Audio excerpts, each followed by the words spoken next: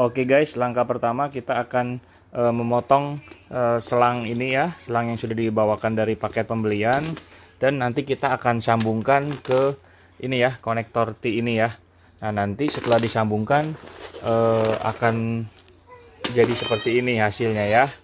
Oke ya, let's check it out.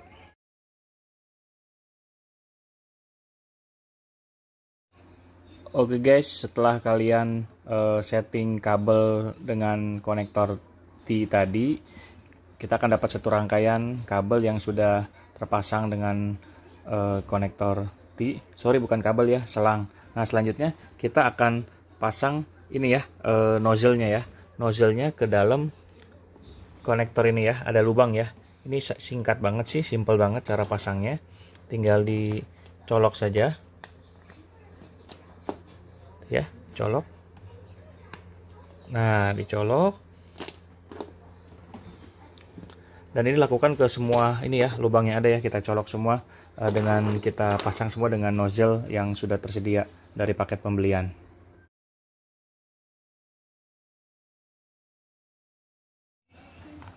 Oh iya teman-teman jangan bingung ya. Ini kalau yang di paling ujung nanti ada yang uh, bentuknya L gini ya. Bukan T tapi L.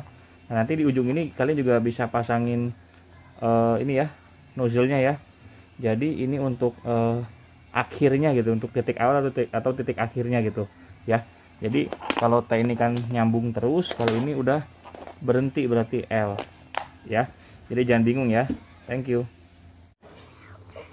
Oke okay guys, sekarang kita uh, lanjut mau pasang ini ya, konektor-konektor. Uh, tadi kita udah punya ini ya punya selang semua sudah terpasang dengan nozzle nozzle T dan terakhir nozzle L.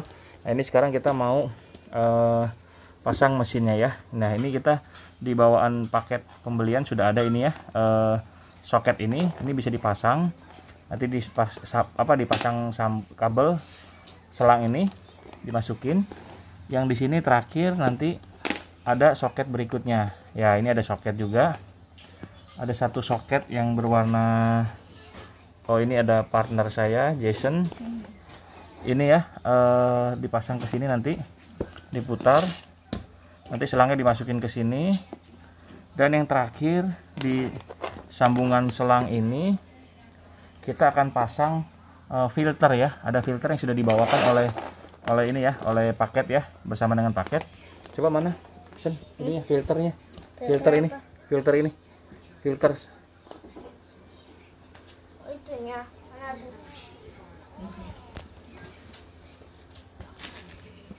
nah ini ya teman-temannya ini filter nanti dipasangin di selang ini. Nah setelah itu kita akan mulai uh, bisa mulai untuk ini ya. Oke. Oke setelah selesai ini tampaknya seperti ini ya. Ini sudah terpasang ini sudah terpasang.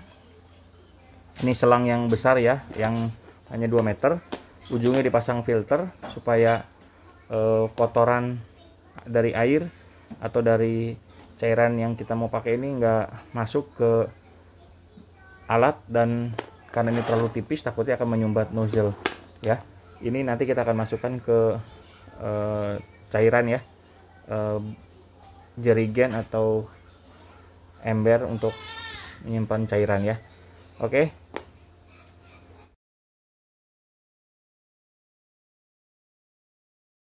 guys setelah semua rangkaian selesai kalian tinggal menyambungkan uh, selang ini ya selang input ke sumber air bisa ember atau galon atau bak yang kalian perlukan dan kalian bisa langsung mulai ini dengan uh, seperti tampilan ini ya uh, fogging atau asap yang disemprotkan lewat mesin ini. Thank you